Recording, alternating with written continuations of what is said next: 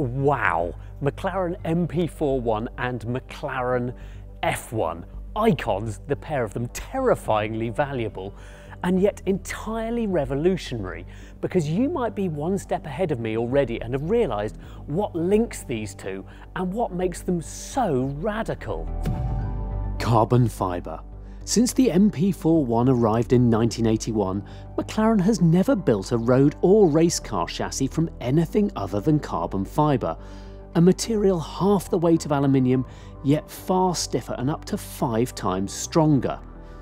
In the last 40 years, it's gone from nowhere to everywhere, from radical F1 tubs to the centre consoles of SUVs, from perfectly woven strands to chopped blocks, in the automotive world, there is no more magical material.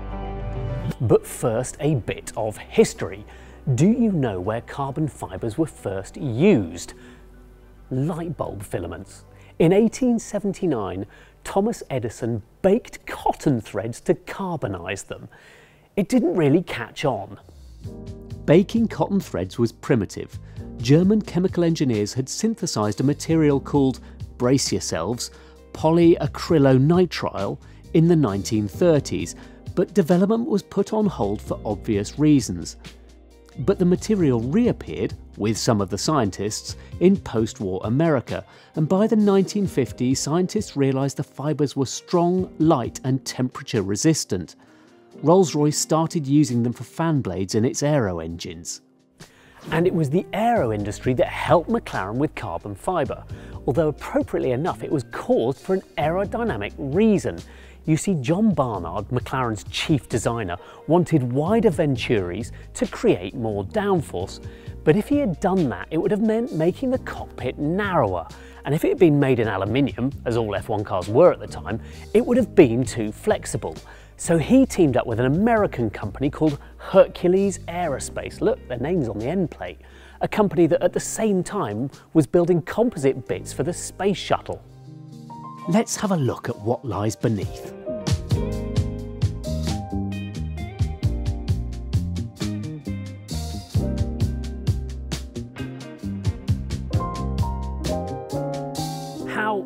Absurdly cool does this look with the panels removed? I mean, the Marlboro McLaren livery is my favourite all-time livery, but this just looks epic.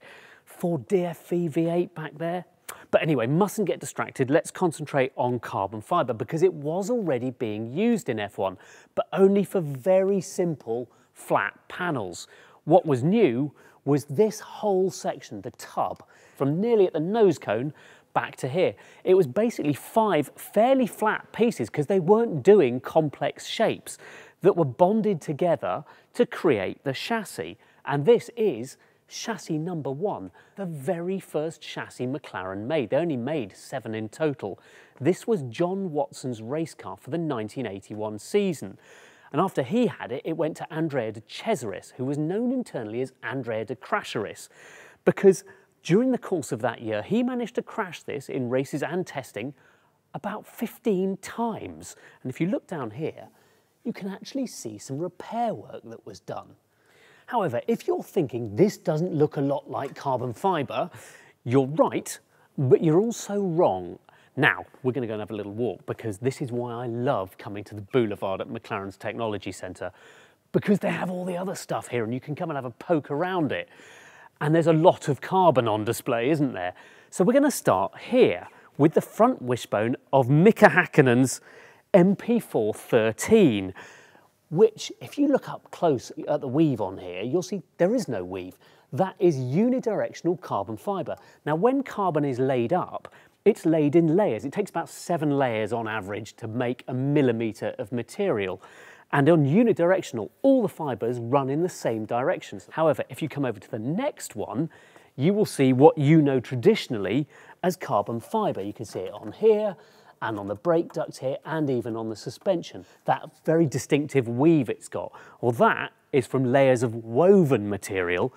That is visual carbon fibre, which looks prettier, but it's not actually as strong as the unidirectional stuff. It's about 10 or 15% less stiff. Now, I could spend hours looking at all of this stuff. However, let's stay on track, back in time to 1981, and finish up with the MP4/1 because as a project it took them two years to get to this stage. Two years for Hercules Aerospace to create this and get it ready to race. And it was ready to race for the third round of the 1981 championship. The trouble was, someone else had beaten them to it. Because the first carbon fibre F1 car to set foot on a track was the infamous twin chassis Lotus 88. But banned by the FIA, it never raced. The MP4/1 meanwhile wasn't immediately successful, it only won one race that year, but what made others sit up and take notice wasn't its success, but rather its failure. At Monza that year, driver John Watson had a massive shunt, the car torn in two by the impact. Yet he emerged largely unscathed. It was carbon strength, rather than its light weight, that endeared it to F1 originally.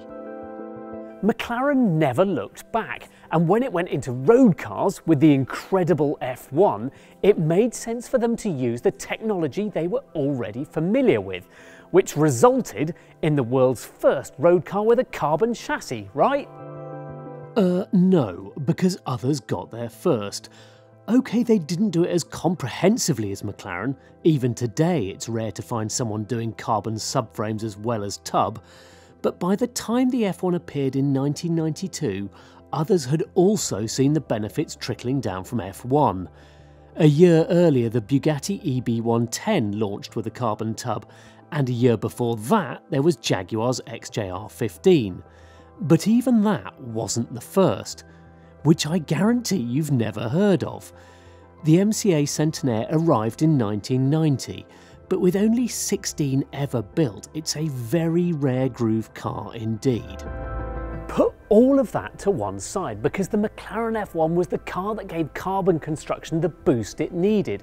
From that moment on, every supercar firm would use carbon construction for their most exotic cars. Shall we? Oh, so exciting! But the drawback is that carbon took a long time to build and was very labour intensive. Pre impregnated sheets are laid up into a mould by hand, then baked in an autoclave, basically a giant pressure cooker, at oven like temperatures, often for 12 to 16 hours. It took 750 hours to assemble an F1, but before that, the carbon tub itself had taken 3,000. 48 separate components were bonded together to make the chassis. And look, you can see a nice visual bit of carbon fibre on the two spars running down here. The question was how long the chassis would last. No one was quite sure.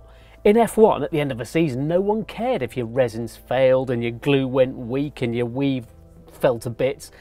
But this was different. Unlike other areas of the car, carbon hasn't deteriorated over the years. The magnesium OZ wheels, these are iconic, right? But they are now over 30 years old. And OZ has discovered that the magnesium is slightly porous and over time it starts to corrode from the inside out. So much so that OZ will now not build new magnesium wheels for the F1. They instead do you an aluminium set which are 2.8 kilos heavier around the car. Now tyres obviously deteriorate anyway, but getting hold of a set for your McLaren F1 isn't that straightforward. In fact, Michelin only make batches of about 100 sets every five to six years. What I'm looking for is signs of paint sinkage, which apparently the F1 is a little bit susceptible to. It's where you can see the weave of the carbon through the paint. It's not that the carbon's moved at all, it's that the paint moves in very hot areas of the car.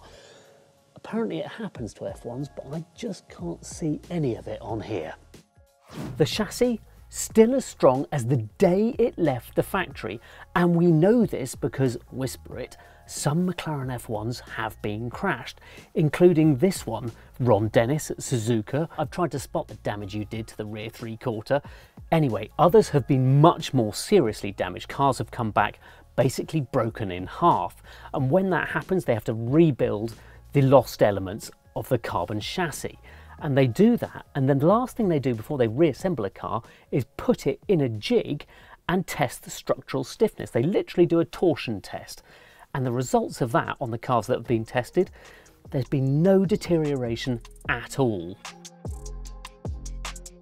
Now the material essentially hasn't changed very much over the years, but the production processes really have. The F1's tub, 3,000 hours. Here is a monocell 2, in this case from a 570S.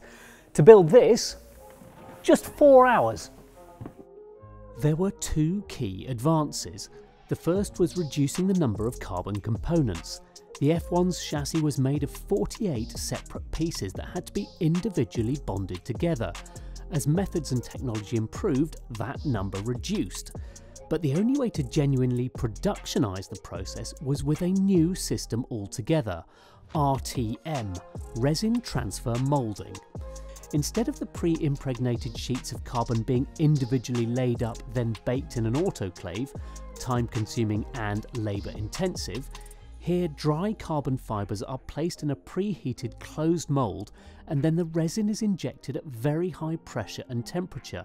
We can't show you this because, well, McLaren wouldn't show us because it's so sensitive, but here you can see the finished tub being lifted off the mould. The result is a more accurate finish, improved rigidity and allows metal components to be built into the structure.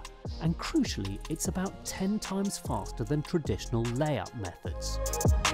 I know it's a very impressive bit of technology, but it's not exactly the sexiest bit of carbon fibre around here, is it?